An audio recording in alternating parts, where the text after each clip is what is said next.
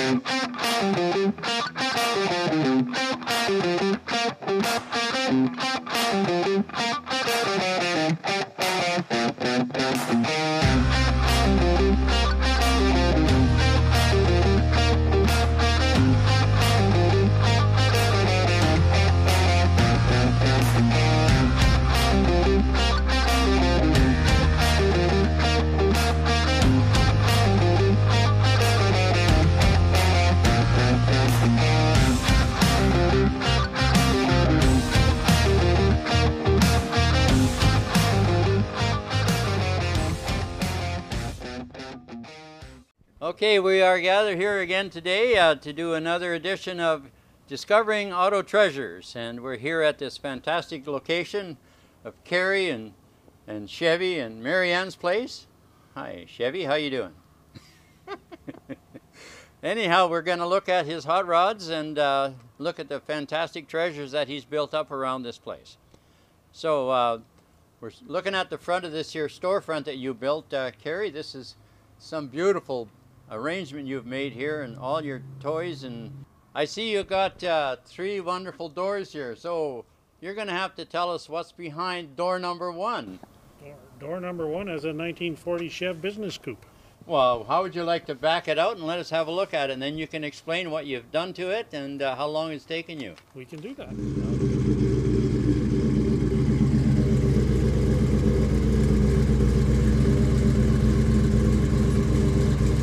So this is your 40 uh, that you have been building on for how many years? Actually, I bought it uh, probably six years ago now. It was sort of built. It was built as a race car. We uh, did some major work to the top end of the motor. We redid the entire interior and we repainted all the red on it. Wow, beautiful car. How many horsepower is in this thing? Uh, according to the computer, it's 525 at the motor. Wow, 525. So Marianne, uh, tell us, what did you have to do with this? Did you pick the colors or anything like that, or interior? Well, I, I think we worked together. We had friends of ours join us that had built hot rods and Mhm. pickups, so we asked them to help us with redoing the interior. Right. And yeah, just designing, lots of thought in it. Wanted all curved lines. We didn't want anything squared off. So it was a lot of fun in uh, in working on the on Awesome. the interior. So. So- and then the coolest part was that we did win an award for the best interior at one of the car shows. Wow, so that was fantastic. that was no, you did something right. So, Yeah, for sure. Uh, Kerry, how about opening up and let us have a look at the, the motor in this? We can do that. Uh, yeah, Kerry, uh, you, you just mentioned that uh, the motor was a little bit bigger than this when you originally got the car. It was a race car. So why don't you explain what's been done to the motor and why you have it like this now? Well, it was the same motor, but it had a blower on it. Uh, we decided to take that off to make it more of a daily driver. Along with that, there was a few other issues we discovered, so we ended up replacing the heads and getting a nice tune-up done on it, and now she runs like a top.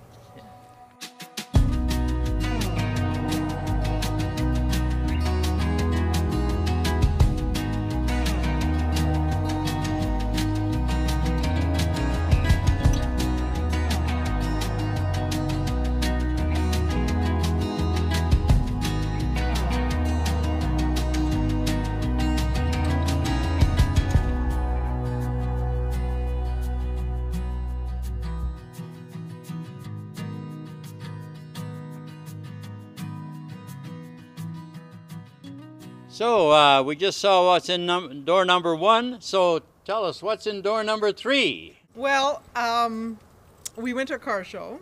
Always like the T-bucket, which is what we have. And well, what it was is that we thought needed a t- little TLC. We'd bring it home, we'd clean it up, and we would just sell it again. Then I started driving it. Now that was what four years ago. Mm-hmm. So it's been four years. It's been my ride for four years. So Awesome. Well, Yeah. let's get that thing backed out into the sunshine and Yeah. see what it looks like. okay. Here we go.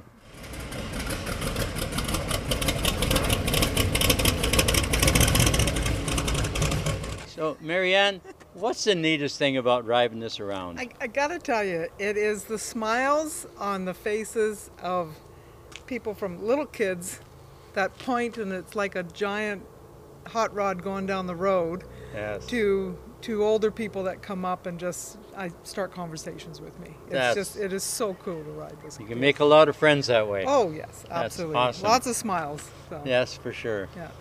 Yeah, just in really just enjoying it. I think after Yeah. the first little work Really, on we it, just drove it. we just drive it. That's So, excellent. Yeah. Another question. We've been looking at number one door and number three door. What is behind number two door? Number two has a 1980 CJ5 Jeep that we bought an hour ago. That's getting ready for the show, I guess. Eh? well, why don't you lift the door and back it out? Okay.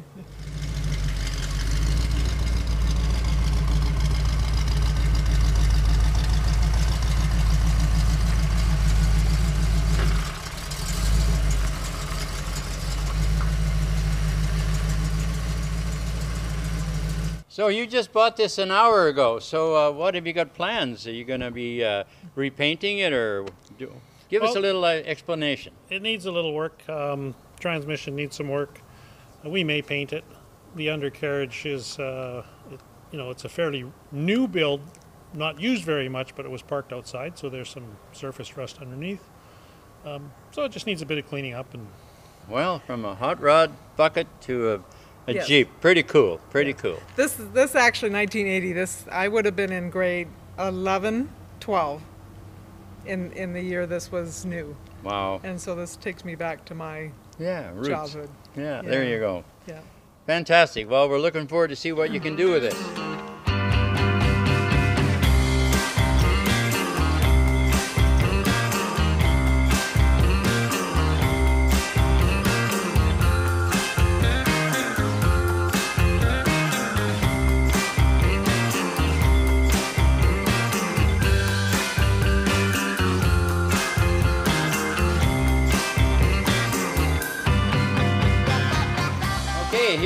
Got uh, a motorcycle, a Honda.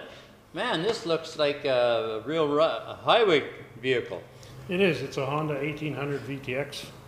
Uh, very nice cruising bike, 110 horsepower, which is pretty good for a two-wheel machine. Yeah. So when you get on the highway, do you uh, ever think of coming home anymore, or you just want to keep on riding? It- it goes wherever. I just follow it wherever it goes.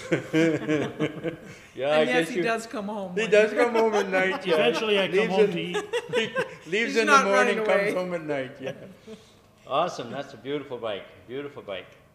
Now we're talking to uh, Kerry and Marianne about their collection out here and their hot rods and all that kind of stuff which you've seen.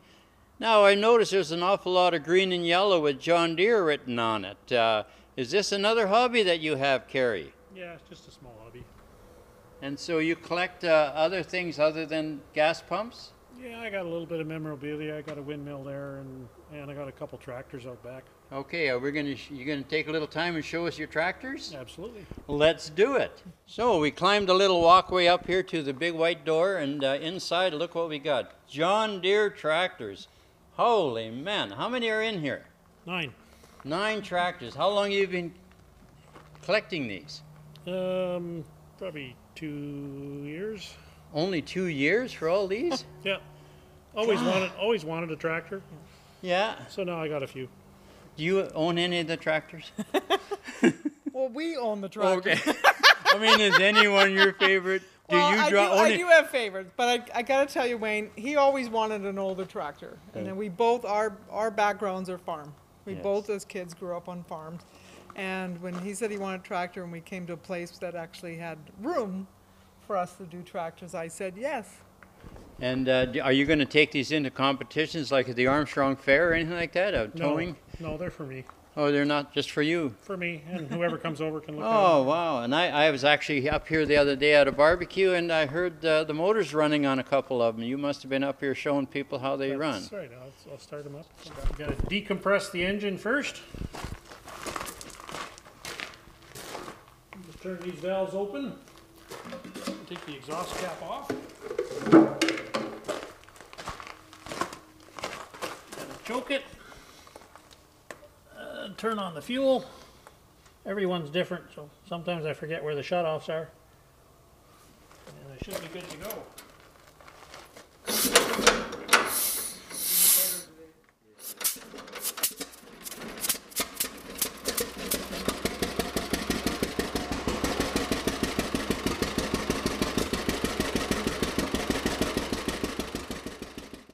Well, I guess it's uh, the end of the day here, and uh, I'd like to thank you, Kerry and Marianne, for allowing us to come up and have a look at your fantastic place, all your interesting collections, your tractors and your cars and your, your new projects happening, your motorcycle. God, you guys live an exciting life.